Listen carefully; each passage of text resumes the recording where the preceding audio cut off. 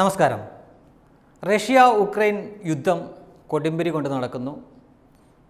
നമ്മുടെ ചാനലുകളൊക്കെ പറയുന്ന പോലെ തന്നെ റഷ്യ ഏകപക്ഷീയമായിട്ട് ഉക്രൈന് മേൽ കടന്നു കയറിയിരിക്കുന്നു. ഉക്രൈൻ പ്രതിരോധിക്കാൻ ശ്രമിക്കുന്നുണ്ട്. റഷ്യക്ക് ചില ലക്ഷ്യങ്ങളുണ്ട്. അത് സാധിക്കും വരെ റഷ്യ ഈ യുദ്ധം നീട്ടിക്കൊണ്ടുപോകും. ചിലപ്പോൾ ഏതാനും ദിവസങ്ങളെടുത്തേക്കാം അല്ലെങ്കിൽ ഉക്രൈൻ അടിയറവ് പറയും വരെ. പക്ഷേ ഇതിനിടയിൽ പെടുന്ന പെട്ട് നരകയാതന അനുഭവിക്കുന്ന സാധാരണക്കാരായിട്ടുള്ള മനുഷ്യരുണ്ട്. നിർഭാഗ്യവശാൽ നമ്മുടെ കുറച്ച് ആളുകളും അതിനിടയ്ക്കുണ്ട്. അതിൽ ചില മലയാളികളുമുണ്ട്. ഈ യുദ്ധം എന്തായാലും ആസന്നമാണോ? അല്ലെങ്കിൽ ഇത് ശരിക്കും നടക്കും എന്ന് ഒരുപക്ഷെ അറിയാവുന്ന ലോക നേതാക്കൾ ആരെങ്കിലുമൊക്കെ ഉണ്ടെങ്കിൽ ഒന്ന് പുടിനായിരിക്കാം. മറ്റൊന്ന് ചൈനയുടെ പ്രസിഡന്റ് ഷീ ജിൻപിൻ ആയിരിക്കാം. പിന്നെ ഒരാൾ കൂടെ ഉണ്ടെങ്കിൽ ഒരുപക്ഷെ തീർച്ചയായിട്ടും നമ്മുടെ പ്രധാനമന്ത്രി മോദിയായിരിക്കാം ഒരുപക്ഷെ അതുകൊണ്ടാവാം മൂന്ന് ആഴ്ചകൾക്ക് മുമ്പ് തന്നെ നമ്മുടെ ആളുകളോട് അവിടെ നിന്ന് ഇന്ത്യയിലേക്ക് വരാൻ ഇന്ത്യ ഇന്ത്യൻ സർക്കാർ ആവശ്യപ്പെടുകയും എന്നാൽ അവിടെ പഠിക്കുന്ന വിദ്യാർത്ഥികൾ അവിടുത്തെ യൂണിവേഴ്സിറ്റി സമ്മതിക്കുന്നില്ല അല്ലെങ്കിൽ അവിടുത്തെ സർക്കാർ സമ്മതിക്കുന്നില്ല എന്ന കാരണത്ത് കാരണങ്ങൾ കൊണ്ട് അവിടെ തുടരുകയും ഒടുവിൽ യുദ്ധം തുടങ്ങിക്കഴിഞ്ഞപ്പോൾ മറ്റു ഗതന്ത്രമെന്ന് ഒന്നുമില്ലാതെ ഇപ്പോൾ ഓട്ടപ്പാശലിലാണ്. പക്ഷേ നമുക്ക് പരിമിതിയുണ്ട് കാരണം അവിടെ വ്യോമ ഗതാഗതം തടസ്സപ്പെട്ടിരിക്കുന്നു കരമാർഗം മാത്രമേ പറ്റത്തുള്ളൂ. അപ്പോൾ അവിടെയുള്ള അവർക്ക് രക്ഷപ്പെടാൻ അത്ര എളുപ്പമല്ലാത്ത ഒരു സ്ഥിതിയിൽ കഷ്ടപ്പെട്ടൊക്കെ വേണം ഇനി കൊണ്ടുവരാൻ. തീർച്ചയായിട്ടും അവർ പാനിക്കായിരിക്കും. അപ്പോൾ അവർ പലതും ഒക്കെ വിളിച്ചു പറയും.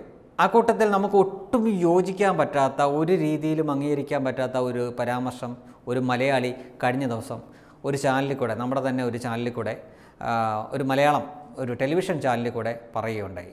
നമുക്കത് കാണുമ്പോൾ കേൾക്കുമ്പോൾ ഒരിക്കലും മലയാളി എന്ന രീതിയിൽ മലയാളി പൊളി പൊളിയിട എന്ന് പറയാനാവില്ല. കാരണം ഈ വ്യക്തിയോട് അവിടുത്തെ സ്ഥിതിവിശേഷത്തെ പറ്റിയൊക്കെ ചോദിക്കുമ്പോൾ അയാൾ പറയുന്നു കുറച്ചു മുന്നേ ഞാൻ ഇവിടുന്ന് സംസാരിക്കുമ്പോൾ എനിക്ക് ഒച്ച കൂടി എന്ന കാരണത്താൽ ഒരു ഉക്രൈൻകാരൻ എന്നെ എന്നോട് പറയുന്നു ശബ്ദം കുറച്ച് സംസാരിക്കാൻ പറഞ്ഞു എന്നൊക്കെ പറഞ്ഞ് ഞാനത് കേട്ടില്ല എന്ന് പറഞ്ഞിട്ട് ഈ ചോദിച്ച മാധ്യമ പ്രവർത്തനമായിട്ട് പറയുന്നു നമ്മുടെയൊക്കെ നാട്ടിൽ പറയാറുണ്ടല്ലോ ആ ഒരു ചൊല്ലുപോലെ അവന്റെ തന്തയുടെ വകയാണോ ഈ സ്ഥലം എന്ന് എനിക്ക് ചോദിക്കാൻ തോന്നിയെന്ന്. ഇത് എന്റെ വാചകമല്ല അയാൾ പറഞ്ഞ വാചകമാണ്. നമ്മൾ ലക്ഷക്കണക്കിന് ആളുകൾ അത് ടി വിയിലൂടെ കണ്ടതാണ്. ഒരു കാര്യം ഒന്ന് ഓർത്തു നോക്കുക. ഇവിടെ നിന്ന് പഠിക്കാൻ അവിടെ പോയിരിക്കുന്ന മലയാളി ഈ കൊച്ചു ഇന്ത്യയിലെ ഈ കൊച്ചു കേരളത്തിൽ നിന്നും പഠിക്കുവാൻ വേണ്ടി ഉക്രൈനിൽ പോയിരിക്കുന്ന ഒരു മലയാളി അവിടുത്തെ ഉക്രൈൻകാരനോട് ചോദിക്കുന്നത് അതവന്റെ പിതാവിന്റെ വകയാണെന്ന്. വിവരക്കേട് എന്നല്ലാതെ ഇതിനെന്താണ് പറയേണ്ടത്? അത് അവന്റെ ഭാഷയിലാണ് ആ പറഞ്ഞിരുന്നെങ്കിൽ ഒരുപക്ഷെ ഒരു ടിക്കറ്റ് കുറച്ചെടുത്താൽ മതിയായിരുന്നു. അവനെ അവർ തന്നെ അവിടെ മൂടിയേനെ. മുൻപൊക്കെ മലയാളികൾ ലോകത്ത് എവിടെ ചെന്നാലും കേരളത്തിനും ഇന്ത്യയ്ക്കുമൊക്കെ അഭിമാനം ഉണ്ടാക്കുന്ന കാര്യങ്ങളാണ് ചെയ്തുകൊണ്ടിരുന്നത്. എന്നാൽ ഈ വിദ്യാർത്ഥി എന്ത് കാരണം കൊണ്ടാണ് ഇങ്ങനെ ഒരു പരാമർശം നടത്തിയതെന്ന് മനസ്സിലാവുന്നേയില്ല എന്തോ വലിയ വീരകൃത്യം ചെയ്ത പോലെ അല്ലെങ്കിൽ എന്തോ വലിയ ആനക്കാര്യം ചെയ്ത പോലെ അങ്ങ് ഞെളിഞ്ഞു പറയുവാണ് അവന്റെ പിതാവിന്റെ വകയാണോ ആ സ്ഥലം? തീർച്ചയായിട്ടും അവന്റെയും കൂടെ പിതാവിന്റെ വകയാണ് ഹേ. അല്ലാതെ മലയാളിക്ക് അവിടെ ചെന്നിട്ട് എന്ത് അവകാശമാണുള്ളത്? നിങ്ങൾ പഠിക്കാൻ വേണ്ടിയിട്ടാണ് അവിടെ പോയിരിക്കുന്നത്. പഠിച്ച് പഠിച്ചുകൊണ്ടിരുന്നപ്പോൾ അവിടെ യുദ്ധം വന്നു. ഇങ്ങോട്ട് തിരിച്ചു വരാൻ പറഞ്ഞ സമയത്ത് പല കാരണങ്ങൾ കൊണ്ട് നിങ്ങൾക്ക് വരാൻ പറ്റിയില്ല. പിന്നീട് ഇങ്ങനെ ഒരു എമർജൻസി സിറ്റുവേഷൻ വന്നു. അപ്പോൾ അതുമായിട്ട് പൊരുത്തപ്പെടണം. പലരും പറയുന്ന പരാതികൾ ബംഗറിൽ അങ്ങനെയാണ് ഇങ്ങനെ. ബങ്കറിൽ ഇങ്ങനെയൊക്കെ തന്നെയാണ്. അല്ലാതെ ബംഗറിൽ എ സി ഒന്നും വെക്കാനൊന്നും പറ്റത്തില്ല. കിട്ടുന്ന പരിമിതമായിട്ടുള്ള സൗകര്യങ്ങൾ മാത്രമേ കാണൂ. ജീവനും കൈ പിടിച്ചുകൊണ്ട് ഓടുകയാണ് ചെയ്യുന്നത്. ചിലർ പറയുന്നത് ബസ്സിൽ ഞങ്ങൾ നിന്നുകൊണ്ടാണ്. അങ്ങനെ പറ്റൂ. അതിനെങ്കിലും പറ്റിയല്ലോ എന്നാണ് ഓർക്കേണ്ടത്. നമ്മുടെ നാടല്ല മറ്റൊരു നാടാണ് യുദ്ധസ്ഥലമാണ്. അവിടെ എന്തൊക്കെ നടക്കും എന്തൊക്കെ നടക്കില്ല എന്ന് ആർക്കും പറയാനാവില്ല.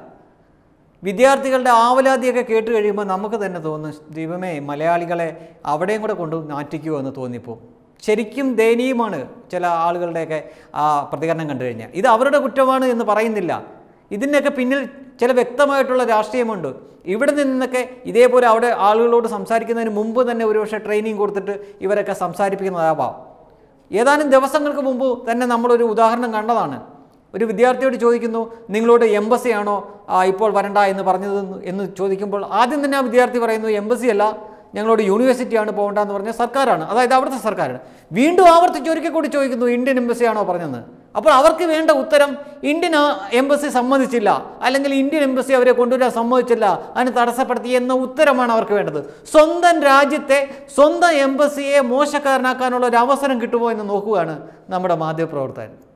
അപ്പോൾ അതിന്റെയൊക്കെ ഒരു പരിച്ഛേദം തന്നെയാണ് ഇതേപോലുള്ള വിദ്യാർത്ഥികൾ.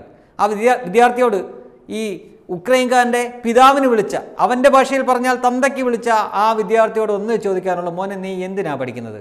അവന്റെ ഉത്തരം ഒരുപക്ഷെ അവിടെ എം ബി ബി എസിന് പഠിക്കുവാണ് എന്നായിരിക്കും. അപ്പോൾ ഇന്നസെന്റ് ഒരു സിനിമയെ ചോദിച്ചു കണക്ക് അതല്ല മോനെ ചോദിച്ചേ നീയൊക്കെ എന്തിനാ പഠിക്കുന്നതാ ചോദിച്ചേ? അല്ലാതെ നീ എന്തിന് പഠിക്കുന്നു? എന്നല്ല നീ ഒന്നും പഠിച്ചിട്ട് ഒരു കാര്യവുമില്ല. വെബ് ഡെസ്ക് തത്വമൈ ന്യൂസ്